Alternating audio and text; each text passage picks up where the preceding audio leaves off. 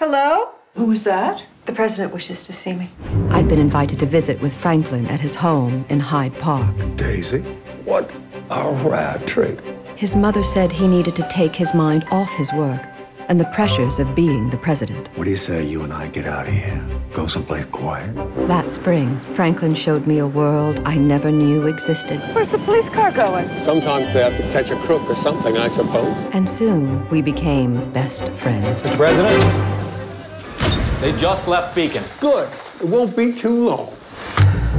No king of England had ever visited America before. So nice of you to come. Mr. President. Forgive me for not getting up. So Franklin invited them here, to the country, where we could all relax. Your mother has now told me for the tenth time not to call her Royal Highness Elizabeth. Do you mind if I call you Elizabeth?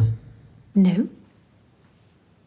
No. It was just one of those. At the picnic, the president's wife has organized that hot dogs be served as our main dish. Are they trying to make fun of us? I don't know. Just one of those. It's going to be a big, big success. Just one of those. She's obviously his mistress.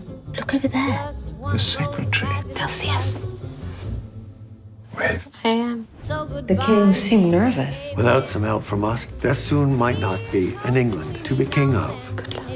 We are not going to serve the king and queen of England in hotels! It's like a madhouse. They didn't want me as their king. I didn't know they voted for that in England. If there's a war, America could be persuaded to help. I thought I might have a swim. Come along. I made them all agree. No pictures in our bathing suits. We think they see all our flaws. But that's not what they're looking to find when they look to us.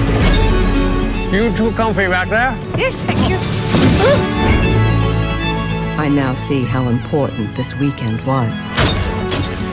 To them, to us, to the world, to Hyde Park on Hudson. We could have sold tickets for this dinner and made ourselves a pile of money.